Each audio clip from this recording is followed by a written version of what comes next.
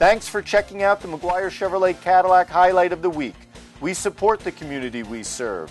Visit us when you're ready for a newer pre owned car. Maximize your fuel economy today with the Chevy Cruze. 592 miles between fill ups and 42 miles per gallon.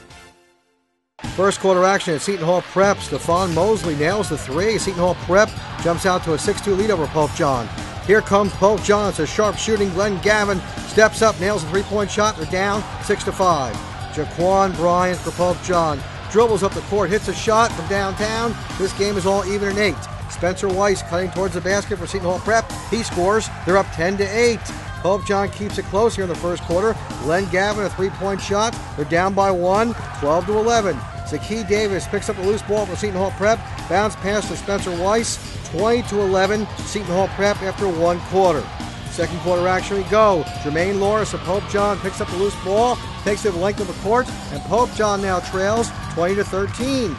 Seton Hall Prep will take a 10-point lead as Spencer Weiss nails a three-point shot. They're up 23 to 13.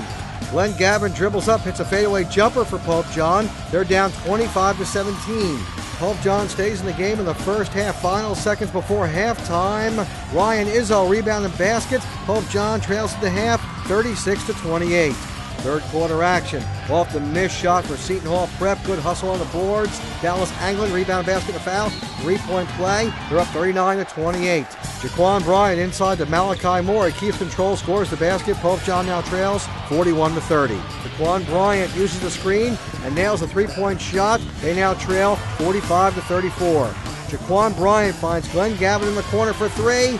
45 37. Pope John trails. Dallas Anglin ahead of the field. He'll slam it home. 56 to 41. Seton Hall Prep. Malachi Moore and Pope John keep battling in this game. Three point play for Malachi Moore. They trail Seton Hall Prep after three quarters, 58 to 44. Okay, fourth quarter action. Seton Hall Prep tough on the boards all night long. Stephon Mosley, basket and a foul, three point play, rebound and basket right there. And despite the efforts of Glenn Gavin and his Pope John teammates, Seton Hall Prep beats Pope John. The final 73 to 63. I thought we played well, but you know, once it got to the third quarter, we couldn't keep trading baskets with them because they're a good team.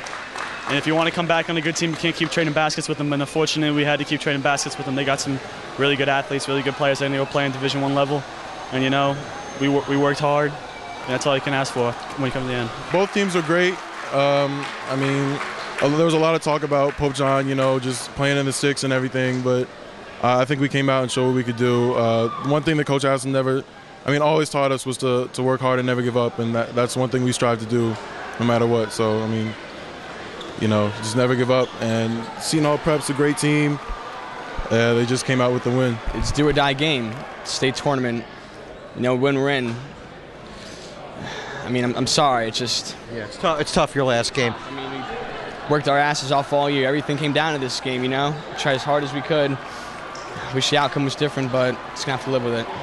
Now, what was it like for you to come back and play these final two games for Pope John? It was amazing. It, it was the best feeling in the world, honestly. Um, I mean, any player, any player hurt in the whole season could take, you could just uh, fold, and you know. But I saw what Coach Hass was doing with the team.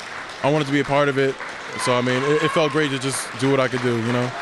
Now, there's still ahead for you. There's still basketball ahead. Tell me about uh, your hopes to play in college. I mean, I really want to play in college. You know, I'm looking at uh, the Merchant Marine and Hartwick. Those are my top two choices for basketball next year. And you know, I'm hoping that wherever I go, wherever I end up, I can help the team win. Your senior year, I know it's a little sad for you. Your last game at Pope John. Your emotions and thoughts as you wrap up a, a solid, great career at Pope John. I mean, it's heartbreaking. You know, you, you work for four years, you work hard, especially this year, new coach, new philosophy, new beginning, you know. And we had a lot of seniors this year. We had seven. And, you know, we came together as a family. We emphasized family this year. And, you know, I think we really stuck together to that motto. And, you know, it's hard to walk out of that locker room the last time. But everything got to come to an end, and it was a great career. This year, I definitely played a more significant role compared to other years as a player. And, you know, I think Coach Hassan really just is the guy who kind of brought it out in me. I mean, I know I'm undersized as a player, and I know I have to, you know, I get my minutes through hard work and through energy. So, Coach Ashton gives me a chance to play, and he really made the senior year something special for me. And just really, I think people years to come are going to recognize Pope John as a good basketball program with a future in the entire state of New Jersey, outside of just Sussex County.